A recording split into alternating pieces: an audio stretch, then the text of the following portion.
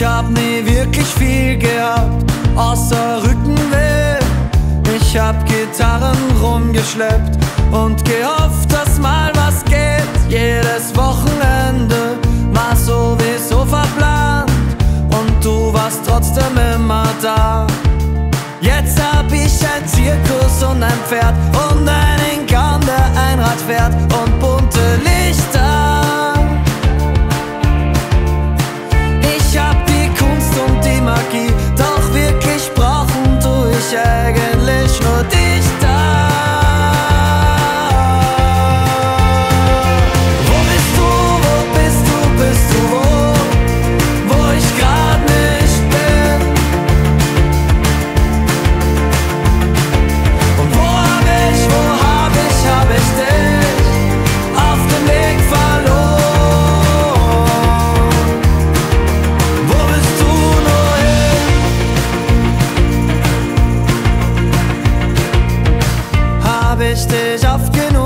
gefragt, wie's dir wirklich geht? Oder hab ich wieder mal nur von mir erzählt, von den Wochenenden und dass es besser wird?